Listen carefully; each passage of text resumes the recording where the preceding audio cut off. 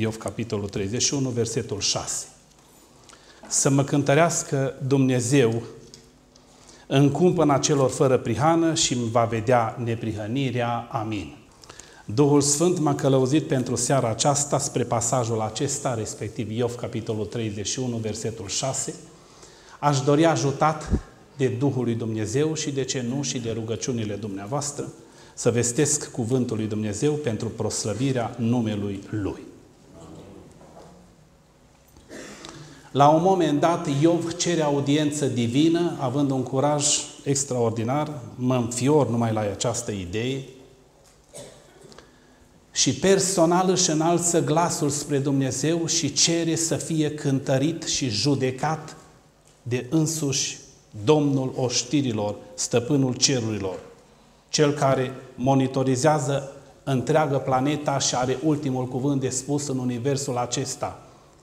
Cântărește-mă Tu, Dumnezeule, să mă cântărească Dumnezeu. Vedeți, dumneavoastră, la ora actuală tot mai multe lucruri se cântăresc.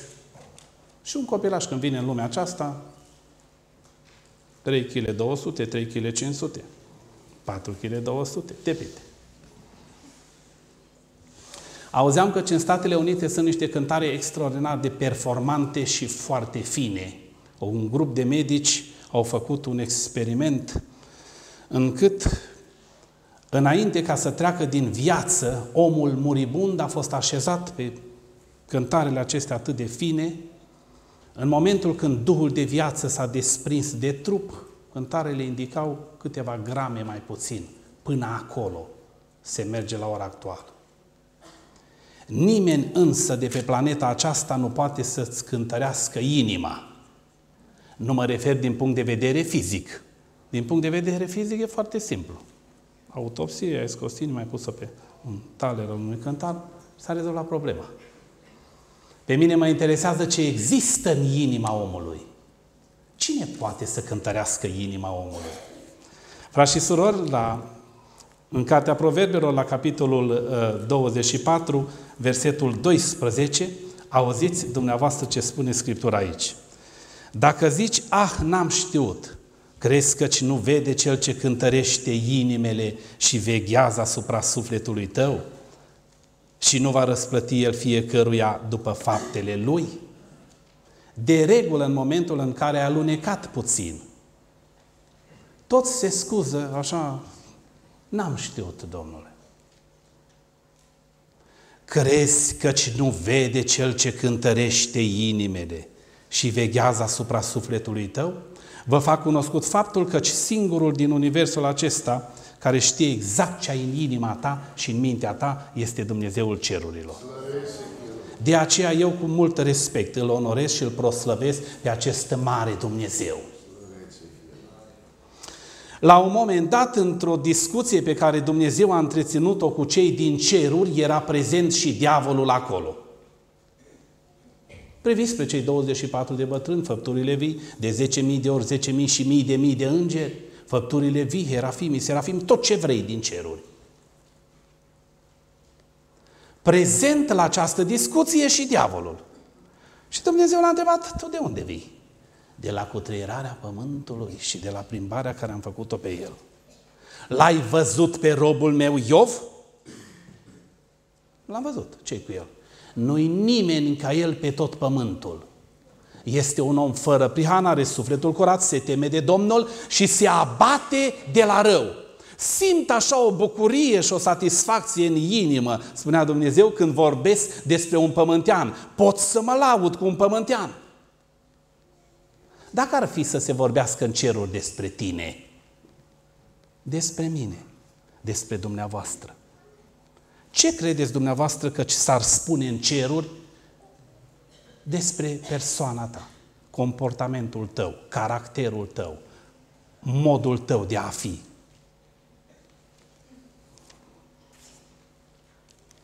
Dumnezeule, omul acesta te slujește pentru că tu l-ai binecuvântat și l-ai ocrotit. Are un motiv foarte bine întemeiat pentru care te slujește. Dați-mi voie sau dăm voie să mă ating de el, Dumnezeule, și sunt încredințat că omul acesta te blastemă și te blestemă în față. Lasă-mă să mă ating de el. Cum? Dăm voie să mă ating de el. De foarte multe ori am vrut să mă ating de el, Dumnezeule, dar n-am putut. În jurul acestui om există un cerc de foc. El beneficiază de protecție divină din partea ta. Am vrut să mă ating de ce are omul ăsta și niciodată nu pot. Tu nu mi-ai permis. Permitem să mă ating de el. Există cineva în sală aici care se simte îmbrățișat de Dumnezeu? Aleluia. Înconjurat pe dinapoi și pe dinainte de brațele puternice ale Dumnezeului cerurilor? Așa cum spunea psalmistul în 139, versetul 5, Tu mă înconjor, Doamne, pe dinapoi și pe dinainte și îți pui mâna.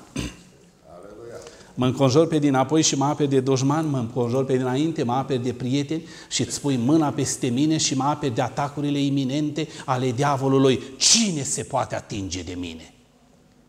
De multe ori am vrut să mă ating de el și n-am putut. Vă doresc tuturor celor care sunteți seara aceasta aici indiferent de unde veniți, vă doresc să beneficiați de protecție divină Amin. și în orice circunstanțe ale vieții Amin. dumneavoastră să vă simțiți ocrotiți și păziți de aceste două brațe puternice a Dumnezeului cerurilor. Dumnezeule, lasă-mă să mă ating de El, omul pe care Tu îl prezinți aici și te lauzi cu El. Și văd că ce ai așa o satisfacție în inimă să te lauzi cu un pământean, te bleastă-mă în față. Atinge-te de El, diavole de ce are el. Dar ai grijă de Duhul de viață să nu te atingi.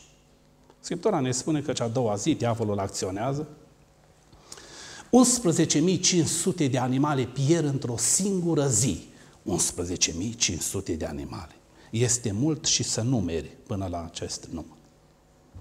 10 copii, respectiv 7 feciori și 3 fete, pleacă într-o singură zi. Era undeva în casa fiului celui mai mare al lui Iov, sărbătoreau ceva, deodată vine un vânt puternic dinspre răsărit, lovește casa unde erau ei, se răstoarnă peste ei și au plecat toți. În urma acestor situații, acestor vești atât de dramatice, Iov se înalță, sfâșie mantaua în bucățele, ștunde capul, se aruncă la pământ, cu fața la pământ și rostește o rugăciune. Gol am ieșit din pântecele mamei mele, gol mă voi întoarce, Domnul a dat, Domnul a luat.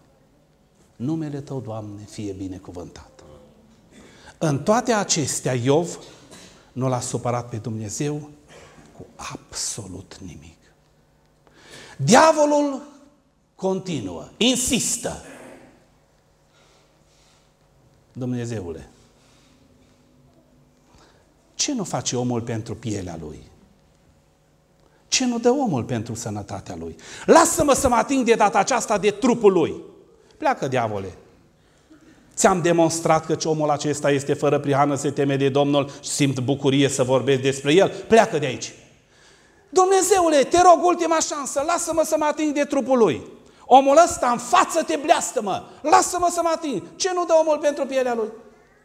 Bine, diavole, atinge-te de trupul lui, de Duhul de viață. N-ai voie să te atingi. Și a plecat diavolul. A îngăduit Dumnezeu Iov să fie lovit cu o boală cruntă, numită elefantită din termenii de atunci, crăpa pielea pe el, așa cum vedeți noastră, vara de secetă puternic și se desprinde pământul. Stătea undeva pe o grămadă de cenușă și se scărpina cu un ciob. Ajunsese foarte slab acum.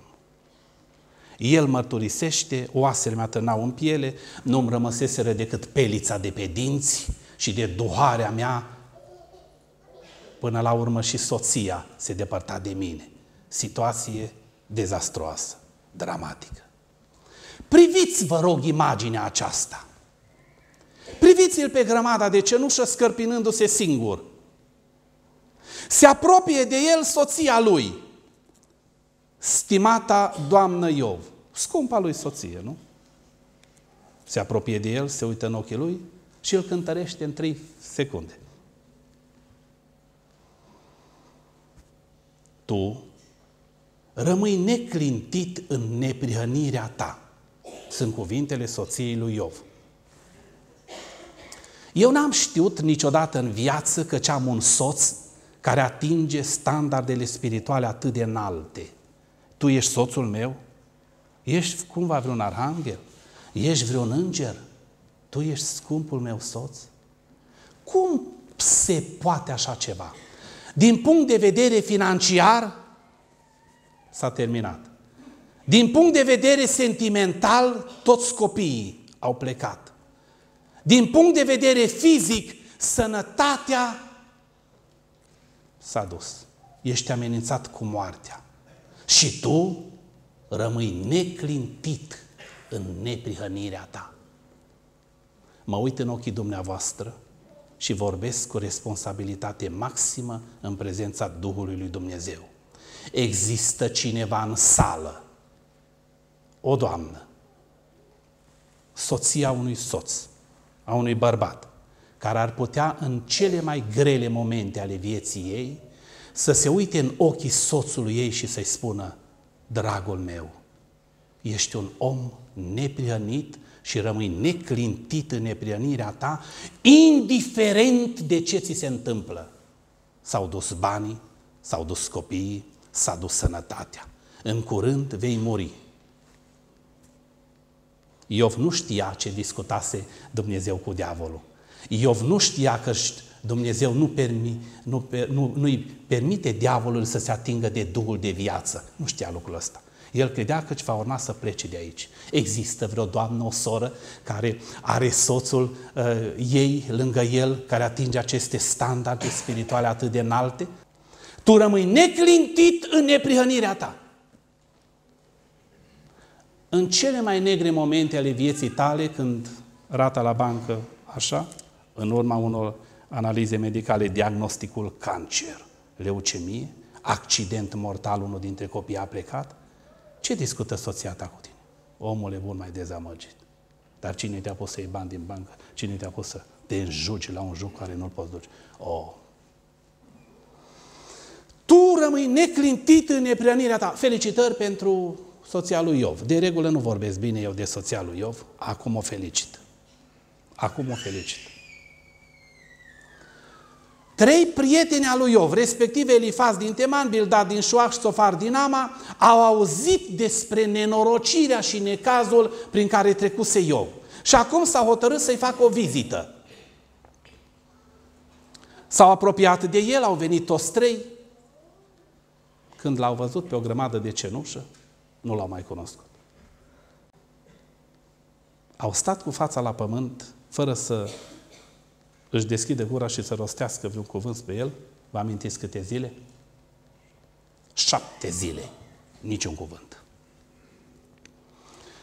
După șapte zile se ridică primul Elifaz din Teman, se uită la el așa, disprețuitor de-a dreptul, tu?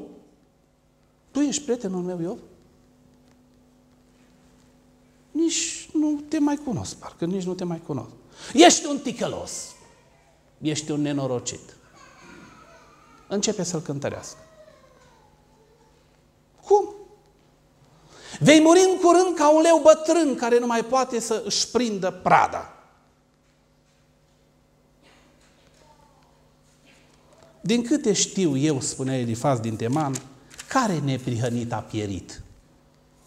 Care om al lui Dumnezeu cu adevărat, în adevăratul sens al cuvântului, a trecut prin ce treci tu? Numai cei ce ară fără de legea și seamănă nelegiuirea trec prin momente de acestea. Iov, ești un ticălos și un nenorocit. Cartea lui Iov la capitolul 4, versetul 7. Adu-ți aminte, te rog, care nevinovat a pierit, care oameni neprioniți au fost nimiciți. După câte am văzut eu, numai cei ce ară fără de legea și seamănă nelegiuirea, îi seceră roadele. Aceia pierd prin suflarea lui Dumnezeu, nimiciți de vântul mâniei lui. Vântul mâniei lui Dumnezeu se declanșează și s-a declanșat împotriva ta. În curând vei muri ca un leu bătrân, Iov. în momente de criză, durere, Elifaz din Teman îl cântărește și se adresează cu aceste cuvinte. Considerați dumneavoastră că atitudinea lui Elifaz din Teman a fost corectă? Și cântarul lui Elifaz din Teman uh, dădea date exacte sau eronate? Stă puțin și se ridică Bildad din Șua. Se uită la el așa, continuă să-l atace într-un mod inimaginabil. Se ridică Țofardinama și pedalează pe aceeași idee. Doamne Dumnezeu! Capitolul 19, Iov, capitolul 19, Iov își adună puterile și la un moment dat, în versetul 1, 2 și 3, spune așa, Iov a luat cuvântul și a zis, până când îmi veți întrista sufletul, mă veți zdrobi cu cuvântările voastre, iată că și de 10 ori m-ați bat jocorit. Nu vă este rușine să vă purtați așa? De trei ori ați luat cuvântul fiecare și acum a zecea oară atacă din nou Elifaz din Teman. Dacă am păcătuit, eu sunt responsabil direct în fața lui Dumnezeu. Dar ce este cu voi? Fiecare l-au cântărit și s-au pronunțat în dreptul lui. La un moment dat, eu a spus, opriți-vă, vă rog, toți. Toți prietenii mei, opriți-vă. Nu mai am nevoie să fiu cântărit de voi. Cer să fiu cântărit de Dumnezeul cerurilor. Iată am ajuns la Iov 31, versetul 6, în cântarul lui Dumnezeu. Să mă cântărească Dumnezeu în cumpăna celor fără prihană și îmi va vedea neprianirea. Mulțumesc, Elifaz din Teman, și ție, Birdat, și ție, Țofar. Sunteți extraordinari. M-ați desconsiderat și m-ați defăimat în ultimul hal.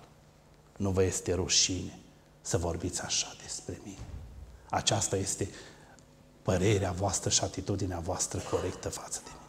Dumnezeule, vreau să fiu cântărit de tine. Și Dumnezeu îi răspunde din ceruri. Cer lucrul acesta, Iov? Da, Dumnezeu. Ești sigur? Da, Dumnezeu.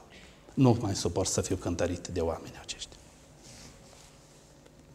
Vă fac cunoscut faptul și vă reprospătez în mintea dumneavoastră căci va veni o zi a cântăririi pentru fiecare locuitor al acestei planete.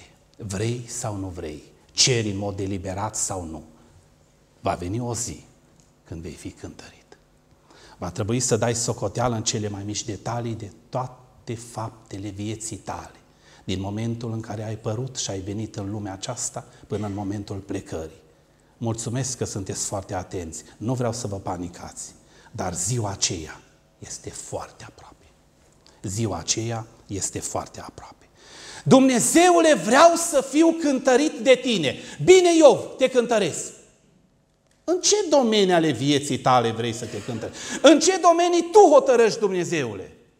Încinge-te și stai în fața mea. Am să te pun în cumpăna cea dreaptă a Dumnezeului care nu poate să fie influențat și nu se lasă influențat de nimeni. Stau în fața ta, Dumnezeule. Acum vă rog să vă concentrați strict asupra acestui, acestui mesaj, asupra acestei idei. Iată Iov, capitolul 31, versetul 7. Se înalță Iov deodată. Își adună puterile pe o grămadă de cenușă. Priviți tabloul acesta. Dacă mi s-a bătut vreodată pasul de pe calea cea dreaptă, dacă mi-a urmat inima, ochii, dacă s-a lipit vreodată vreo nelegiuire de aceste două mâini slăbite, cântărește-mă Dumnezeule. Cum? Stau în fața ta, Dumnezeule.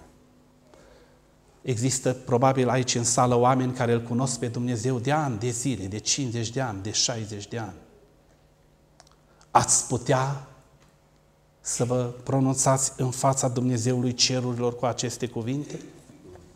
Dacă vreodată mi s-a bătut pasul de pe calea cea dreaptă, foarte puțin, nu mai ajung niciodată la destinație. Dacă am lăsat inima să-mi urmeze ochii și dacă de mâinile acestea s-a lipit vreo nelegiuire, cum până ta cea dreaptă să cântărească Dumnezeu? Din momentul în care ai încheiat legământ cu Domnul în apa botezului și ai jurat până la moarte, te voi, te voi urma fără întreruperi în momentul de față, îți menții jurământul? Dacă am lăsat inima să-mi urmeze ochii de regulă, proverbul spune, nu? Ochii văd, inima cere. În dreptul acestui om neprionit nu se operează așa. Ochii văd și inima opresc. Nu. Felicitări pentru eu. Amintiți-vă dumneavoastră prima cetate asediată din țara Cananului după ce Iosua a trecut Iordanul cu poporul? Prima cetate asediată a fost cetatea Ierihonului. Domnul a vorbit lui Iosua. Vorbește bărbaților de război, fiecare să meargă drept înainte după căderea zidurilor Ierihonului, fără intervenția vreunei mâini, ci eu, Domnul, voi ordona căderea zidurilor Ierihonului. Cei șapte îngeri speciali care au misiuni speciale vor fi acolo pentru prăbușirea zidului. Fiecare evreu să meargă drept înainte, să nu luați nimic din lucrurile date spre nimicire. Ascultă Iosua, prelucrează poporul în domeniul și în sensul acesta. Și la un moment dat, în timpul asediului, unul dintre căpetenile lui Israel, un bărbat cu vază, a văzut în pradă o manta frumoasă de șine a 250 de sicli de argint, o placă de aur. I-am văzut, i-am poftit și i-am luat. Ochii văd, inima cere, dar om sunt. I-a stopat undeva, i-a îngropat în interiorul cortului lui, a făcut o groapă în pământ, i-a îngropat acolo. Următoarea cetate care trebuia să fie asediată, cetatea aia, o cetate foarte mică. Unul dintre căpetenile lui Israel s-a adresat lui Iosua și a spus, Iosua, n-are rost să obosim tot poporul. Vom merge 3.000, 4.000, lovim cetatea aia, o spulberăm de pe fața pământului și am rezolvat problema. Bine, mergeți 3.000, 4.000. Au ieșit bărbații din Ai, i-au atacat pe evrei și le-au omorât 36 dintre războinicii evreilor. Și Osua, cu fața la pământ, plânge și se tânguiește, Dumnezeule, de ce ne-ai scos din țara Egiptului? Cum am venit aici să ne lași pradă uh, acestor nemernici, acestor nenorociți? Și Domnul a vorbit lui Iosua, Iosua, ridică-te de aici. Există păcat în popor. Cum? Există nelegiuire în popor. Pune și trage la sorți pe seminții, pe, pe, pe familii, pe persoane. Vezi cum faci! Și până la urmă sorțul a căzut pe Acan. Acan, vino, te rog încoace. Ce ai făcut? Iosua, am văzut, am poftit, am luat. Dar tu nu poți să te controlezi. Uite că n-am putut de data aceasta. Ochii văd, inima cere. Mult m-aș bucura seara aceasta, inima fiecăruia dintre dumneavoastră să fie atinsă de mâinile Domnului Isus. Amin. În domeniul acesta, singurul care poate să te ajute este numai și numai Dumnezeu. Unde este soția ta, Acan? Aici. Și fetele și băieții? Aici. Veniți toți și coborâți în Valea Acor. Va urma un tablou foarte dramatic. Dumnezeu este foarte categoric. Veți fi omorâți cu pietre. Cineva m-a întrebat de ce soția lui Acan și fetele și băieții lui au avut parte de o moarte atât de groasnică? A fost vinovată cu ceva? Și am spus, judecați dumneavoastră dacă a fost vinovată sau nu. În momentul în care Acan săpa o groapă în cort, probabil băieții au scos pământul și au îngropat lucrurile date spre nimicire. Vinovată prin tăinuire sau omisiune. Durere mare. Am o mare durere să vorbesc despre soția lui Acan. Dacă s-a lipit vreo nelegiuire de mâinile acestea două, cântărește-mă, Dumnezeule. Cine din sală are curajul să se ridice în fața lui Dumnezeu și să facă afirmații de talia aceasta? Versetul 9, Iov 31. Dacă mi-a fost amăgită inima de vreo femeie, dacă am pândit la ușa aproape lui meu, atunci nevastă mea să macine pentru altul și să o necinstească alții. Dumnezeule, de când mă știi pe pământul ăsta? Dacă vreodată mi-a fost inima amăgită de vreo femeie, pune-mă în cântarul tău, Dumnezeule. Mă uit în ochii bărbaților acum. La dumneavoastră mă uit. La ora actuală, diavolul face ravagii. Este domeniul cel mai vulnerabil și foarte mulți tineri lucrează după sloganul nu pierde clipa. Așa. Crezi că nu vede cel ce cântărește inimele și veghează asupra sufletului tău? Dacă vreodată în viață, Dumnezeule, mi-a fost inima măgită de vreo femeie, pune-mă în cântarul tău. Unii se uită așa cu nonșalanță în ochii tinerei și spune, draga mea, ce te iubesc. Ești de-a dreptul nemaipomenită. Haideți să fixăm și data uh, când vom avea căsătoria. După două zile se întâlnește cu cealaltă. O, totul este ok, totul este în regulă. Flirtul este un păcat pe care Dumnezeu nu-l suportă. Și foarte mulți la ora actuală cad în domeniul acesta. Îl rog pe Dumnezeu prin Duhul Sfânt să vină în ajutorul tuturor celor care sunteți aici și care subscrieți la această idee și care sunteți de acord să fiți ajutat de mâinile puternice a Dumnezeului cerurilor. Dumnezeule, cer să fiu cântărit de tine. Crezi că cine nu vede Dumnezeu? Dumnezeu să ne binecuvinteze. Dacă am nesocotit vreodată dreptul slușnicei mele și a celor ce munceau pentru mine, versetul 13, dacă n-am dat săracilor ce-mi cereau, dacă mi-am mâncat singur pâinea, versetul 17, fără ca orfanul să-și avut și el partea lui din ea, dacă am văzut pe cel nenorocit ducând lipsă de haine și pe cel lipsit fără învelitoare, pune-mă în cântarul tău, Dumnezeule. Iov, ce curaj ai, tu vorbești serios? Foarte serios, Dumnezeu. Stau înaintea ta la modul cel mai sincer. Dacă vreodată mi-am mâncat singur pâinea, fără să împart celui sărac și nenorocit, dacă l-am văzut pe cel sărac fără învelitoare și am stat așa într-o stare de nepăsare, cer să fiu cântărit de tine. Dacă am oprit dreptul celor care munceau pentru mine, și Noul Testament preia ideea și spune, glasul secerătorilor, cărora le-ați oprit leafa, plata, strigă spre mine și eu, Dumnezeu, i-am auzit. Ori Iov spune, dacă vreodată am fost prins în cursa aceasta, te rog, cântărește-mă, Dumnezeule. Și Dumnezeu, în cele mai mici detalii, cântărea. Versetul 21. Dacă mi-am ridicat mâinile împotriva orfanului pentru că mă simțeam sprijinit de judecători, pune-mă în cântarul tău, Dumnezeule. Cum? Păi eu aveam mulți bani. Și toate procesele puteam să le câștig. De ce? Așa era situația. Dacă mi-am ridicat mâinile vreodată împotriva orfanului pentru că mă simțeam sprijinit de judecători, banul vorbește. Te rog, Dumnezeule, cântărește-mă. Pune-mă în cântarul Tău, Doamne. Dacă mi-am pus încrederea în aur, dacă am zis aurului, Tu ești nădejdea mea, dacă m-am îngânfat de mărimea verilor mele și de mulțimea bogăților pe care mi le dobândiserăm, pune-mă în cântarul Tău, Doamne.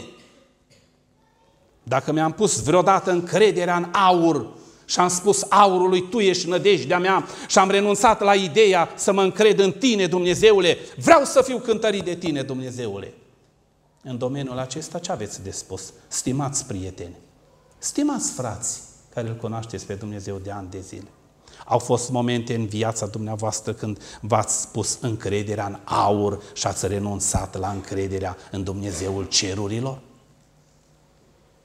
Vă fac cunoscut faptul că va veni o zi când aurul și argintul nu te va mai putea ajuta cu nimic. Profetul Ezechiel spune, își vor arunca argintul pe ulițe și aurul în praful de pe drum și în colbul de pe drum, spunând, voi ne-ați adus în nenorocirea aceasta. Lucrând după ideea, scopul scuză mișloacele. Pe mine nu mă interesează mișloacele prin care mi-ating scopul. Și foarte mulți se vând pe un pum de bani. Își vând sufletul pe un pum de bani. Vreau neapărat să-mi ating scopul. Dumnezeu, prin Duhul Sfânt, să ne cerceteze în seara aceasta Amin. și Dumnezeu să aibă milă de noi, de fiecare dintre noi. Dumnezeu să ne ajute. Dacă m-am bucurat de nenorocirea vrășmașului meu și dacă am sărit de bucurie când l-a atins nenorocirea, pune-mă în cântarul tău, Dumnezeule, și cântăre. Oprește-te, Iov! Iov, te-am cântărit. Nu e nevoie să-mi amintești niciun domeniu al vieții tale în continuare. Știu absolut totul despre tine. Oprește-te aici. Unde sunt prietenii tăi? Aici, în fața mea, Dumnezeu. Elifaz din Teman, Bildad din Șoaf, Sofar din Amar, ridicați-vă toți, trei, stați în fața mea. Iov, atât cât ești de slăbit, privește cu atenție spre mine și Dumnezeu tună din ceruri. I-am cântărit Iov și acum dăm voie să-ți dau sentința și să auzi hotărârea divină. Prietenii tăi n-au vorbit așa de drept de mine și nici de tine, cum ai vorbit tu. La nivel de cer am hotărât să-i pierd pe toți trei. Îi nimicesc pe toți trei.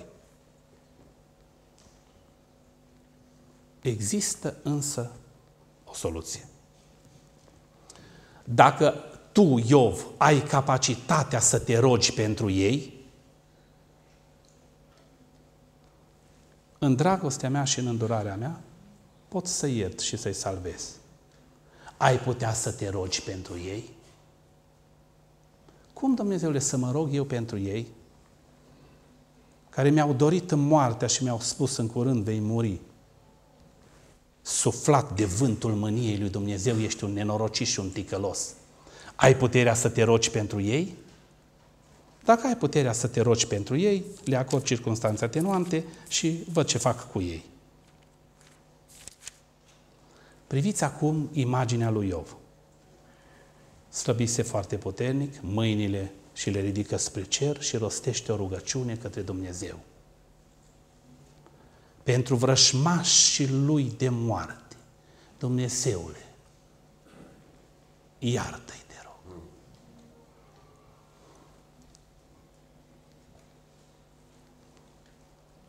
Există bărbați aici care ar putea să se conformeze acestei idei, să te rogi pentru vrășmașul tău de moarte? Iov, ai putea să faci tu ce va urma să facă fiul meu. În scurgerea vremurilor va coborâ pe planeta aceasta și la Golgota își va da viața pentru noi, pentru noi toți. Ai putea să te rogi și să faci lucrul acesta, Iov. Da, Dumnezeule! Iată, Iov, capitolul 42, Scriptura spune, începând cu versetul 8, luați șapte viței, luați șapte berbeci, Duceți-vă la robul meu Iov și aduceți o ardere de tot pentru voi. Robul meu Iov să se roage pentru voi și numai în vederea lui nu vă voi face după nebunia voastră. Altfel vă spulber de pe fața pământului. Dacă el se roagă pentru voi, vă iert și nu fac după nebunia voastră. Iov se înalță, cheamă numele Domnului și Dumnezeu se îndură în cântarul lui Dumnezeu. Dumnezeu cântărește. În cele din urmă, Iov cere să aibă un dialog scurt cu Dumnezeu. Și Dumnezeu îi spune, da, Iov, te ascult. Dumnezeule, urechile mele auziseră despre tine, dar acum ochii mei te-au văzut. Mi-e scârbă de mine și mă pocăiesc în sac și cenușă. Cum? Iov, eu m-am lăudat cu tine în ceruri. Ești un om de-a dreptul extraordinar. Da, Dumnezeule, dar în prezența ta mi se descoperă starea mea reală în fața ta și îmi dau seama căci trebuie să mă pocăiesc în sac și cenușă. Există cineva în sală care a atins standardele spirituale, care le-a atins omul acesta lui Dumnezeu? Iov? chiar dacă există. Evanghelia din seara aceasta ne cheamă și ne provoacă să ne apropiem de Dumnezeu prin pocăință. Amin. Căci ziua cântăririi este foarte, foarte aproape. Poate vezi ce? La ce întrebă mie pocăință, Domnul? La ce trebuie ție pocăință? Iată un om fără prihană care are sufletul curat, se teme de Domnul și se abate de la rău. În prezența lui Dumnezeu spune mie scârbă de mine și vreau să mă pocăiesc. Dumnezeu să vă binecuvinteze și Dumnezeu să ne ajute la aceasta. Ziua cântăririi fiecăruia dintre dumneavoastră, dintre noi, este foarte aproape. Pe un perete alb, sub lumina unui felinar, în timp ce Belțașar bea din cupele de aur aduse din templul de Ierusalim, tocmai de tatălui, de Nebucanețar, apare un capăt de mână pe tencuiala zidului, un capăt de mână și scrie Mene, Mene, Techel, Ufarsi. Fața împăratului Belțașar i s-a îngălbenit, coapsele i s-au desfăcut, genunchii se lovesc involuntar unul de altul și strigă ca un descreierat. Aduceți-mi repede cititorii, vrăjitorii, al toți care pot să-mi tălmăcească scrierea aceasta. Și vin toți și nimeni nu poate să tălmăcească scrierea aceasta, pentru că Dumnezeu nu permite diavolului să intre în sfintele taine ale Duhului Său. Și atunci se apropie de el nevastă să împărăteasă. Împărate, există aici în împărăția ta, încă de pe vremea tatălui tău, un bărbat cu numele Daniel, acum poartă numele tău, împărate Belțaș. Are în el Duhul Dumnezeilor celor vii. Cheamă-l pe el să-ți traducă scrierea aceasta. Și a fost adus Daniel. Daniel, ai putea să-mi traduci scrierea aceasta? Îți spun un lănțișor de aur la gât, îți dau locul numărul 2 în împărăție și tot ce vrei. Ori Daniel spune, mulțumesc, țineți darurile. Eu nu pot să tălmăcesc și să traduc nimic. Nu? Nu. Există în ceruri, în Dumnezeu, care dă înțelepciune înțelepților și pricepere celor pricepuți. El poate să intervină în domeniul și în sensul acesta. Spunem te rog. Mene, mene, techelul farsin însemnează numărat, numărat, cântărit și împărțit. Dumnezeu ți-a numărat zilele. Dumnezeu te-a pus în cântarul lui Belțașar. Și te-a găsit ușor. De aceea, la nivel de tribunal de cer, Dumnezeu a hotărât ca în această noapte să fii retras. Vei muri, împărate. Ai fost găsit ușor. De ce credeți dumneavoastră căci împăratul Belțașar a fost găsit ușor la cântărirea făcută de însuși mâna lui Dumnezeu, în cântarul celor fără priană. De ce credeți că a fost găsit ușor? Ori omul lui Dumnezeu Daniel dă un răspuns în sensul acesta.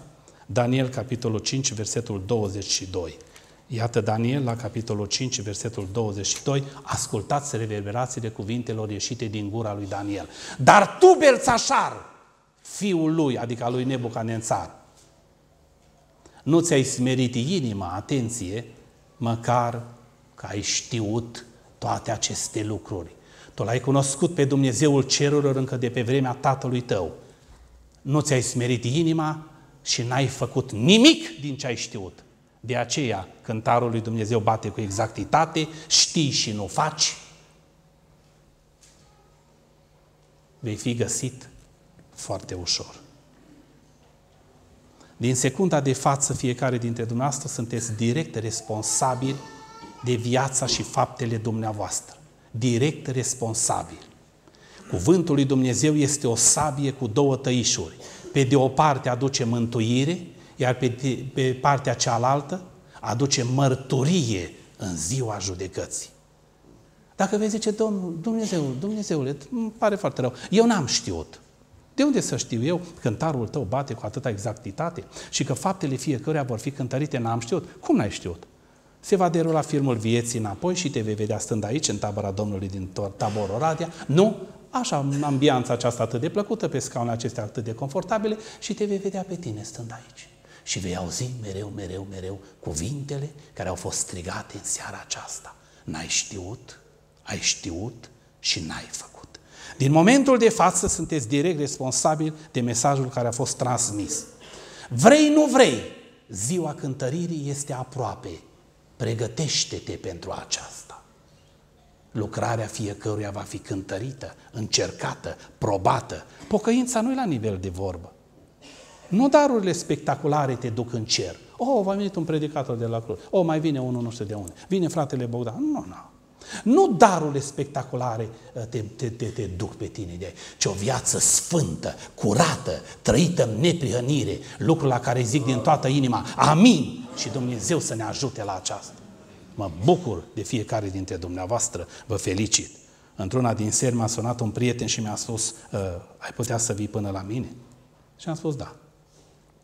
Am avut o viziune, o vedenie de noapte, spunea el, și sudorile morții la un moment dat mi-au cuprins fruntea, Sunt foarte panicat. Spune-mi, te rog. Se părea, spunea el, că era ziua judecății. Toți pământenii trebuiau să intre într-o sală de judecată. Înăuntru, în sala de judecată, pe un tron mare și alb, stătea regele Hristos Domnul.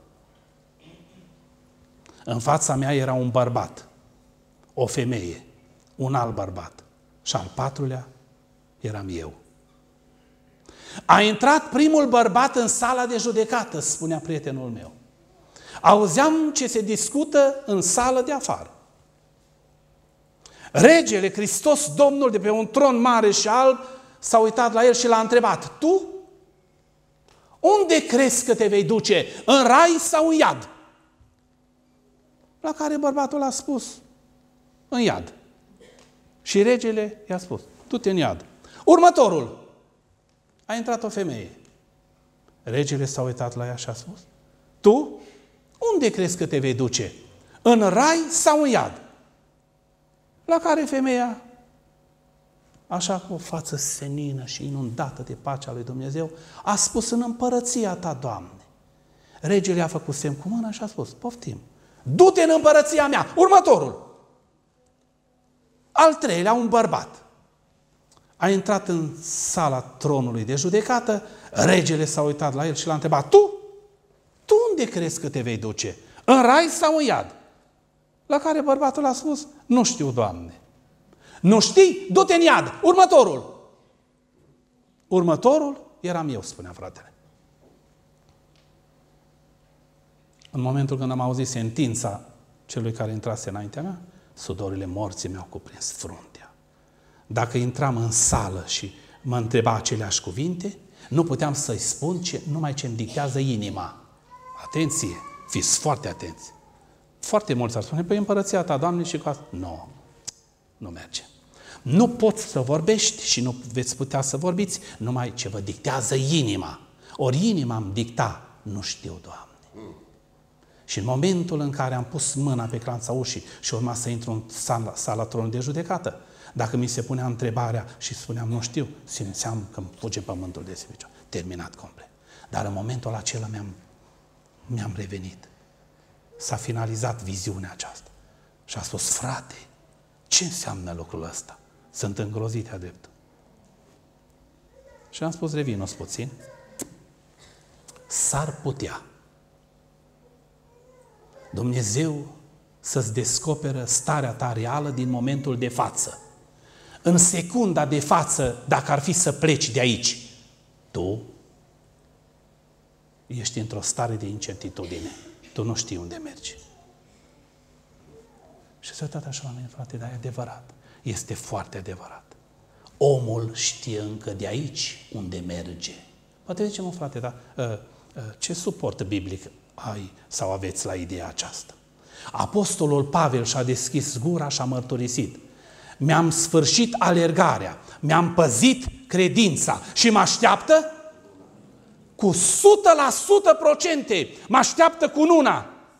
Extraordinar. Ești convins? 100%. Nici nu se pune problema, nici n-am nevoie să mai fiu judecat de un tron omenesc, pentru că eu am în inimă pe regele, pe el am slujit și la el voi merge. Bătrânul Simeon a luat pruncul în brațe și a strigat, slobozește în pace pe robul tău. Dar unde mergi, Simeon? Cu 100% procente, fără probleme. Dar tu, Moise, unde mergi? Când ai urcat pe vârful muntelui Nebo, la vârsta de 120 de ani, puterile nu lăsase și vederea nu-i slăbise. Moise privește cât poți să privești cu doi ochi de la Dan până spre Galaad. Privește țara Canaanului. Nu vei intra în țara Canaanului, dar ascultă Moise. Canaanul ceresc, țara sfântă, a ta este. Nu-ți face nicio problemă.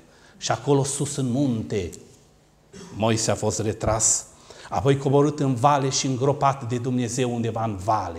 Coruri îngerești au participat la cele servicii funerare. Și la un moment dat, spune Scriptura, misiunea Arhanghelului Mihail era să ia trupul lui Moise. Și lângă Arhanghelul Mihail s-a mai prezentat cineva. Vă amintiți? Cine era? Satana. Și Arhanghelul Mihail a spus, Domnul să te mostre, satana, o pleacă de aici. Tu ce cauți? Păi am venit și eu, prind și eu ceva de nu prins nimic. Ăsta e omul meu. Este omul care l-a văzut pe Dumnezeu de la o distanță foarte mică, în momentul când a fost așezat în crăpătura unei stânci, este omul care a vorbit cu Dumnezeu gură către gură, cum vorbește un om cu prietenul lui. Pleacă de aici, Satan. Pentru fiecare dintre dumneavoastră timpul s-a dus, pentru fiecare dintre dumneavoastră cu responsabilitate maximă în prezența lui Dumnezeu, doresc din toată inima, lăsați-vă modelați de brațele puternice ale Domnului. Aleluia. Probabil vă, simțiți, vă simțeați mult mai confortabil dacă aveam un alt subiect care vă provoca o stare mult mai confortabilă, zâmbeați din când în când și dacă spuneam și două glume, totul era perfect. O, nu! Niciodată! În prezența lui Dumnezeu, nu! Aici este locul unde coboară Duhul lui Dumnezeu. Aici se iartă păcate. Aici se vindecă suflete. Aici se topesc cătușele de pe mâinile sufletului tău și lanțurile de la picioarele tale. Aici se descoperă și se eliberează viciile și păcatele ascunse. Aici este atelierul de prelucrare a lui Dumnezeu. Aici cerurile sunt deschise la tabor și ochii celui îmbătrânit de zile privesc spre dumneavoastră.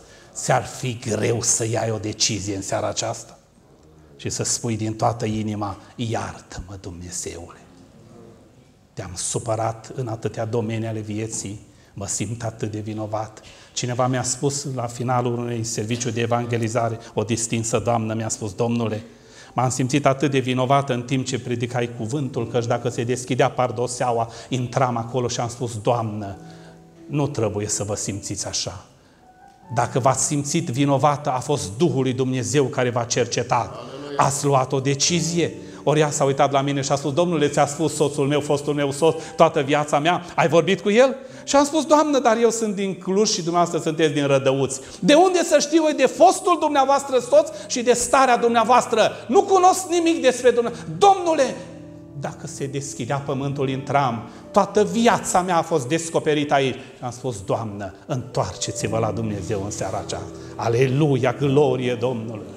Duhul lui Dumnezeu continuă să, să, să lucreze aici, El să vă atingă mintea și inima și Dumnezeu să vă atragă într-un punct să luați o decizie și decizia să fie de a-L urma pe Dumnezeu, de a-L sluji pe Dumnezeu. Nu cum vrem noi, ci cum îi place Domnului. Căci foarte, foarte mulți lasă și coboară ștacheta și standardele mântuirii. Vă amintiți dumneavoastră în Isaia 6 ce au strigat serafimii unul la altul care stăteau deasupra lui Dumnezeu, care aveau șase aripi, cu două și acopereau fața, cu două și acopereau picioarele, pentru că în prezența lui Dumnezeu trebuie decență. Cu două fața, cu două picioarele, pentru că suntem în prezența lui Dumnezeu și cu două zburau. Și serafimii strigau unul la altul și ziceau, Sfânt, Sfânt, Sfânt este Domnul. Puteau să strige, bun e Domnul, îndurare, dragoste, iubitor e Domnul. O, este adevărat și asta. Atributul de bază al caracterului lui Dumnezeu pentru toate zilele cât vor ținea vremurile este și a fost sfințenia, frate. Nimic întinat nu va intra în ceruri, numai cel care se conformează.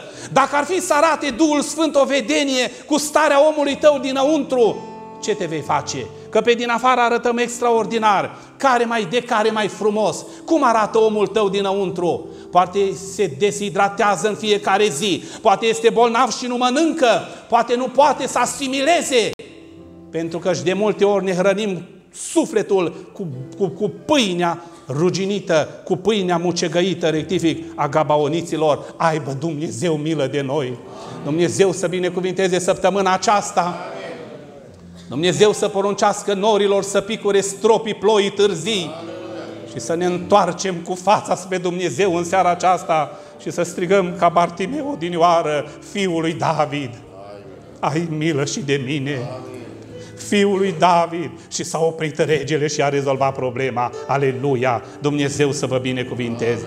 În această ambianță sfântă vă invit să vă ridicați cu toți înaintea Domnului. Dacă ai simțit mâna Domnului, dacă ai simțit ciocanul Evangheliei, focul Duhului Sfânt și sabia cuvântului care ți-a atins mintea și inima, nu-ți fie rușine și înalți o rugăciune spre Dumnezeu în momentul acesta. Strigă și tu să te audă Dumnezeu din ceruri. Iartă-mă, Doamne!